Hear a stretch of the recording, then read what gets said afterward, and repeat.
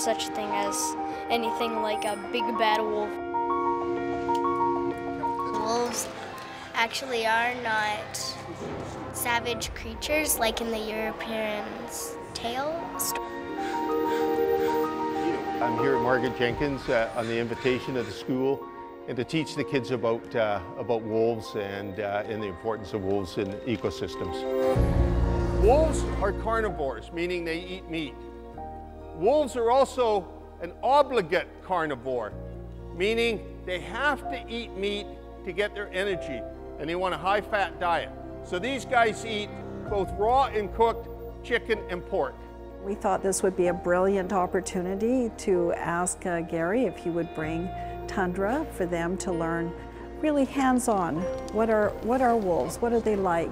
What, is, what are their characteristics? How important are they to the environment? It means so much more when you actually meet the animal. I really enjoy seeing wildlife. When you just see it in a video or something, it's like kind of saying, oh cool, it's a wolf. But when you look at it, up at it up close, it's, whoa, it's a wolf. I don't think there was any fear at all. I expected somebody to say, no, I don't want to go, I'm afraid. I didn't have one child say no. Everyone wanted to be here. Everyone was enthusiastic. She's really beautiful of just looking at her. Well, Tundra's a female.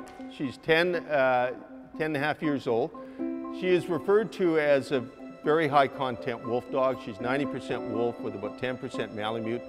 But as you can see her, she looks all wolf. I've had wolf biologists that have seen her and they don't see any difference between her and her wild cousins.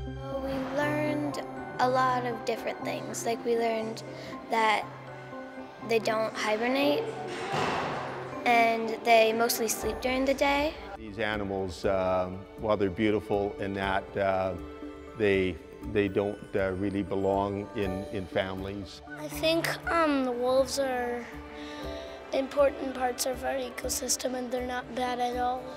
They're what is referred to as the keepers of the balance. They maintain and create healthy ecosystems.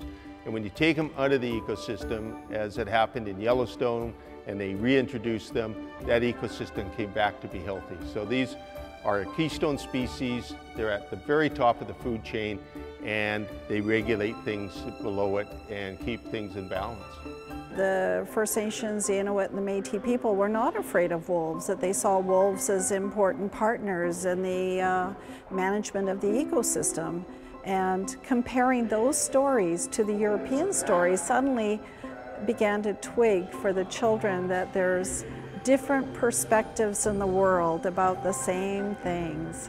So uh, that was very eye-opening for them. That kind of comparative study, of course, is very powerful. The myths about uh, wolves and is uh, very hard to dispel. The science clearly shows that killing wolves is biologically wrong, uh, but the hunters and the trappers continue to, to kill them uh, with, um, I would say, the concurrence of the, the provincial government and the Fish and Wildlife Branch. Um, and they clearly, from my conversations with them, they clearly don't understand about this animal and the importance of it. They're the ones that are going to keep ecosystems balanced because they keep the prey, like deer, in check because if you get too many deer, they can do irreparable damage by eating all the vegetation and everything. That affects the beavers, the squirrels, the rabbits, da da da da da da. We are uh, very much about environmental education in this school. We attach it to social responsibility, we attach it to science, we attach it to social studies. I think the only reason that a wolf should kill a human is if they harm them. It was really exciting and uh, it felt amazing. I have no doubt that these children will never forget this great opportunity thank you